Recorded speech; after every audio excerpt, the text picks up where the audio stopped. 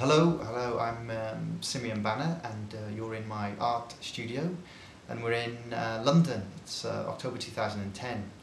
Um, we're in Dalston, London and um, I'm just making a short presentation here to show my work, showcase my work, to show my paintings, drawings and also I have an exhibition uh, in, on the 18th of November um, where, well actually the title of the exhibition is No One Tells Us What to Do and uh, the idea of the exhibition is quite novel. Um, myself and uh, another artist, uh, our works have been selected for us. We are not selecting what we show. Uh, we've decided to surrender all control to the two gallery owners. Um, so we're hoping that that will be something something quite interesting and they'll be able to um, reveal something to us about what we do. Uh, so they could choose something that we really dislike or something that we like. Um, so um, that's that's what we will be doing.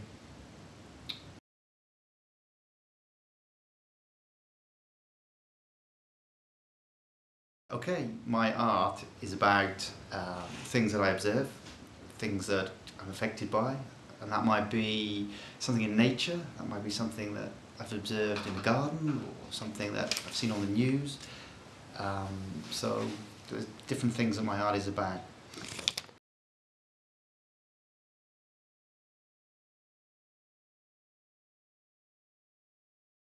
I'm an artist because primarily I enjoy making images and I want to explore something that I find something that hasn't been found before. Um, just like to, I just want to show here the kind of process where uh, a picture is made.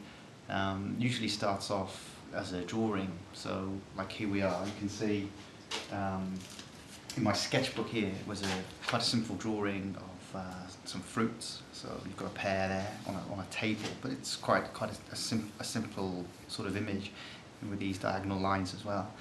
And um, when we get to the painting here, there's quite a difference obviously between between the drawing and the painting. But I think for me, it, it's not important that I copy exactly um, the drawing, although at times I, I also do do that. But on this occasion, um, in order for the picture to have some life, it takes on a, it takes on a, a life of its own. Um, but I think it always, in the end, you know, the drawing is very important. It's something to refer to, and it's a, a structure to, to base to base the painting on. Um, I try and keep the painting open, um, so that you know the image is it has its own life, really has its own identity. It's not just an, an, a complete copy of the drawing. Um, so you can see here what, what I was influenced by. The painting, uh, the materials the painting was made of, uh, basically acrylic, so that's like, um, it's not oil paint, it's, um, it tends to be flatter, and I've used here these etching marks, and you have, uh, it, the whole, the structure is quite um, circular and uh, curved, and then you have the, this kind of di this kind of more uh, angular shape here as a, as a, as a contrast. Um, as you can see, like the in the drawing that the table structure is, is still there, but it's been lost somewhat. Um, but at that stage, I was, I was happy with it. I thought the painting, um, I thought the painting was finished. So that's what I wanted to say about that. Uh,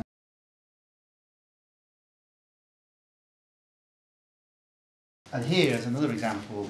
This is quite a rough, quite a rough drawing, quite a rough sketch. So you can see here, um, I was inspired to to make a picture of basically it's quite a simple image of a tree. Um, and um, so I just knew that's what I wanted to do and I, and I had written here that it would be copper and silver the colours would be copper and silver. Um, so here is uh, the painting I made of that.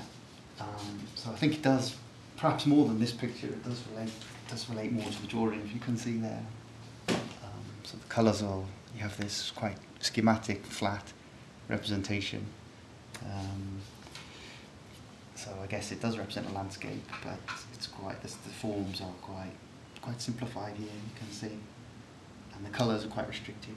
Usually, I choose colours. They're not nat naturalistic colours. Colours are usually um, perhaps from things that I see. I have here a collection of images that I use. So there's some drawings in there, and um, for example, catalogues, clothing catalogues given to me by my cousin. and um, for example, these paint charts as well, I might use the colours from those. Or here I have uh, something I cut out from an orange, uh, orange packaging, orange carton, sorry.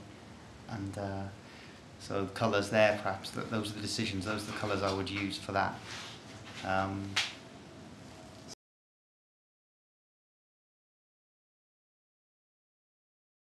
here is an image uh, of a painting in the National Gallery actually by an artist called Goya. And it, it shows, it's just part, part of an image. So sometimes I might be inspired to paint a picture based on art, on other, other art that I, that I admire and I enjoy. And at other times um, it may be something that I've seen, for example, uh, out of a landscape when I've been travelling. So I've got some paintings here uh, of landscapes that I painted, drew, I drew actually many, many years ago, and I went, went back to see here, this, this landscape here. So that was initially drawn in a sketchbook uh, out of a, out the window of a train. So I made uh, these, these paintings out of it. The colours are very intense and quite, quite artificial, perhaps. Sorts of colours you might have in advertising uh, to attract people's attention. It, did, it didn't seem right for me to make, make a landscape that was uh, like a traditional landscape, a landscape where I sat and observed and used all naturalistic colours, the colours as they would be. It's a landscape of the imagination. Um, so I'm not constrained by um, you know, what, what nature what nature dictates. So I'm just running through through here some of the pictures I've made.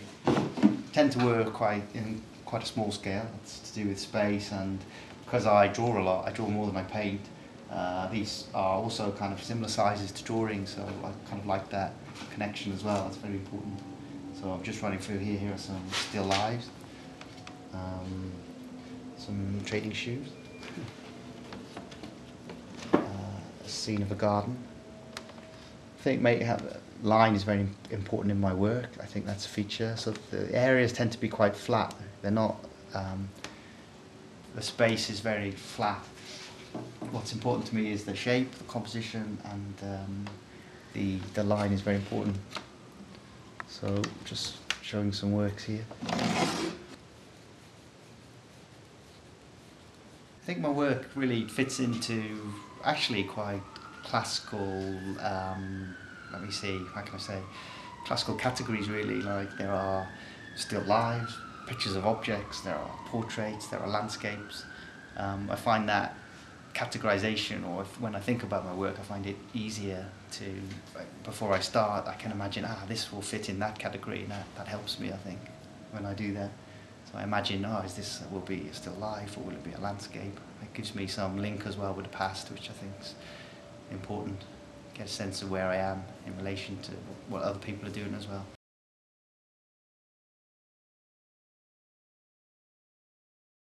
here, um, this is a basket of fruit um, because, yeah, relating to the National Gallery where I'm working, um, I just I'm very in, interested in the still life paintings. Particularly, I was thinking of the Spanish painters.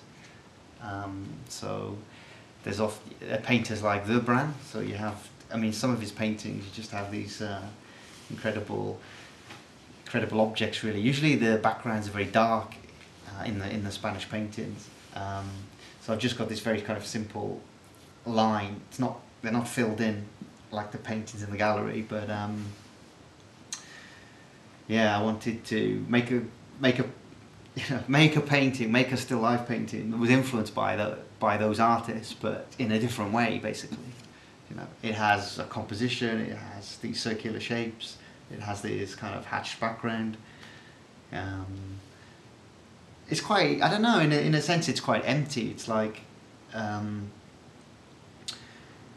I want the I guess I think I want the pictures to look almost like they could dematerialize in a way, like they're just being held together by the very thinnest of elements, and that's also why I became quite interested in using uh, MDF. This is a very basic kind of wood that you can get anywhere, um, and it, in a way I like it to look like quite quite shoddy in a way, but quite well crafted. Like this material is common, isn't it? It's easily available.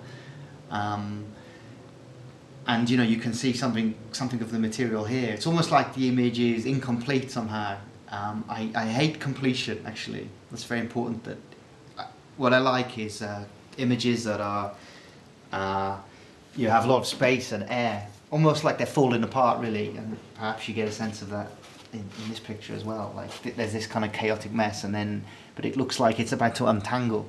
So I don't like things that are fully completed. I don't like images that are. Um, I, I think it's important as a metaphor they have space to breathe.